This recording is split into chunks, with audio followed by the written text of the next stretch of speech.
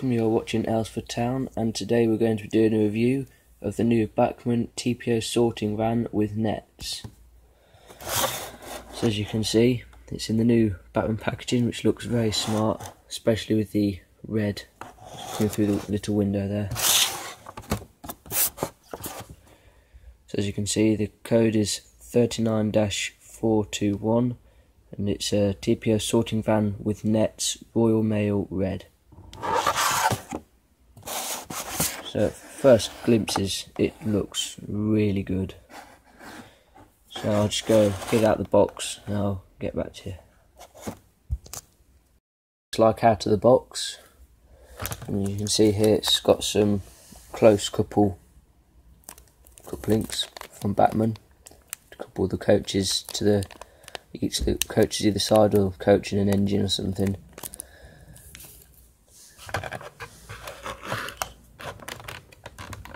got two little foam pieces here just to protect the roof.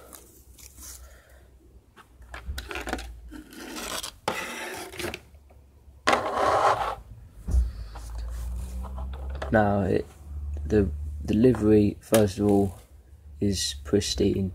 It looks brilliant. The red is just the right colour. The transfers are done really well can see there as always and even on the inside of the glass don't know whether the camera will focus. Will it?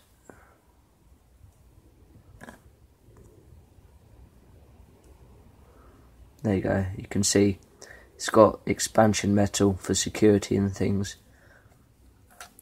The lining on it is brilliant as well. That looks really good when the camera focuses.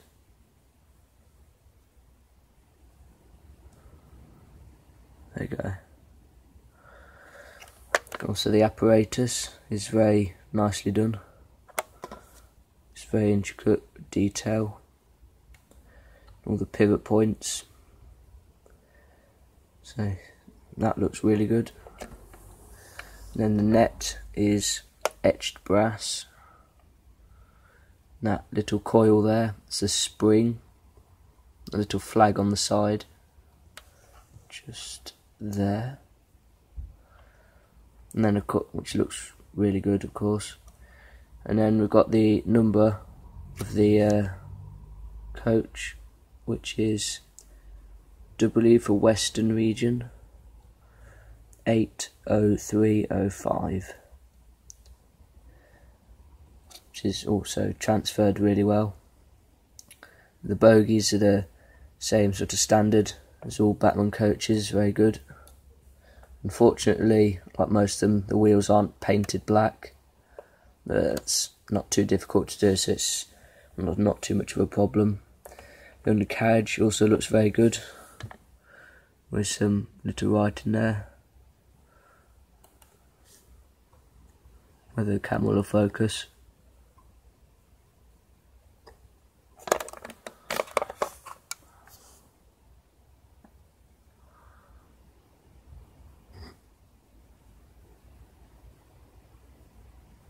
No, it won't.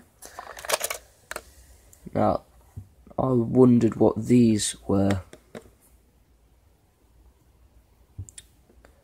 And I did a bit of research, and all I got was that they were little lights. So if, you if you know, please comment in, in, below and tell me. Now here as well, you can see it has a little post box for posting things when they're on the run. So you can stop in a station, go to the station and post your mail, be delivered instantly. Now come to this side. Unlike most of the coaches, it's got a different end. Has obviously two doors, rather than either one sliding door or no door at all. As you can see, it's got two lamp irons, one here and one just below the thumb there uh, modelled very well. The steps look really good as well, and as you can see, it's got a lot of fine transfers and detail of writing. The camera will focus. I've got a camera to focus, so as you can see there, it's got all the writing. It looks, like I say, really good. All the transfers. Buffers aren't sprung like most coaches and wagons. It's not a problem. Then, if we come round to the back, there's again another Royal Mail transfer, really nicely done. And uh, the crest and the number of the coach. Uh, on this side, I've got two doors and another mailbox, just to, so you can post your mail, I guess, either side of the platform, depending on which way it comes in. The, the livery on it, the red paint looks really good. It's very even. Looks the part really. And then if you come out to the side, it's the same as the other side. You've got your little overhead wire sign just there. But if the camera will focus,